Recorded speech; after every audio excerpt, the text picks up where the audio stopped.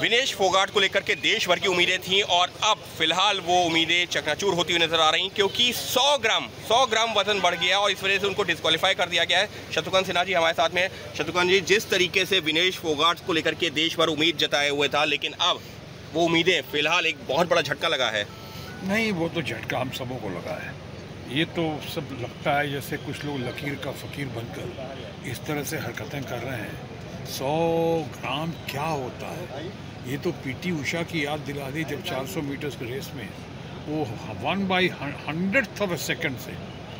One by hundred second से जी। वो चौथी रह गई थी उनको वो तगमा नहीं मिला था उनको ब्रॉन्ज नहीं मिला था। तो अभी मुझे याद दिला पड़ रहा है कि वो भी एक टेक्निकलिटी का मामला दिखता है। जी। और आज जिस तरह से हमारे देश की बेटी देश का गौरव देश की अपनी हमारे हरियाणा का हरियाणा धरती पुत्र पुत्री हम्म। आज उसकी जब घड़ी आई है पहली बार कोई लड़की जो है महिला पहलवान पहली बार फाइनल तक पहुँची है। जी। और इस तरह पहुँचने के बाद आज जब हम लोग दुनिया देखना देखना चाह रही थी और हम सब व्याकुल थे हम सब आज देखना चाह रहे थे कि आज फाइनल में किस तरह पछाड़ती हैं।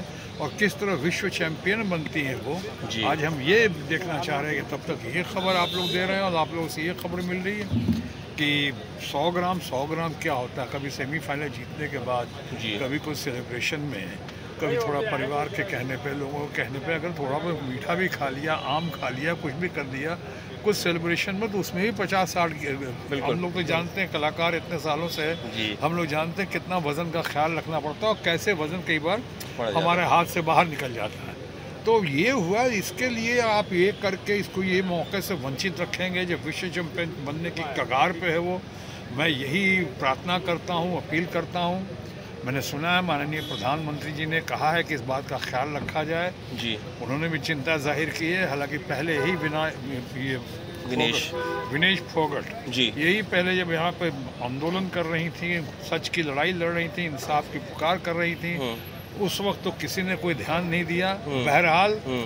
देर कर दी मेहरबा आते आते लेकिन जब भी दिया देश के खातिर देश के संतान के खातिर देश के गौरव के खातिर माननीय प्रधानमंत्री ने चाहे पीएमओ को लोगों ने चिंता ज़ाहिर की है। जी। हम सराहना करते हैं और मैं समझता हूँ कि माननीय प्रधानमंत्री की बातों पे भी ओलंपिक एसोसिएशन और ख़ासकर हमारा स्पोर्ट्स मिनिस्ट्री और हमारा एक्सटर्नल अफेयर्स मिनिस्ट्री इस बात को ज़ोर शोर से आगे बढ़ाएगा और हमें कोई भी कसर नहीं छोड़ेगा। जिसकी वजह से हमारे विनेश फोगाट जो हैं। एकदम नज़दीक एकदम जीत के कगार पे आकर विश्व चैंपियन बनने के कगार पे आके कहीं पीछे रह जाए साफ़ तौर पर शत्रुघ्न जी का यही कहना है शत्रुघ्न सिन्हा का यही कहना है कि ये तो जो छोटी छोटी टेक्निकलिटीज़ हैं उसका खामियाजा जो भारत को पीटी उषा के वक्त उठाना पड़ा और अब एक बार फिर से लेकिन कोशिश ज़रूर जारी रहनी चाहिए कि किसी भी सूरत में विनेश को फाइनल खेलने का मौका मिले और भारत वो जो मेडल है, वो ला सके। Ankit Gupta I B P news Delhi.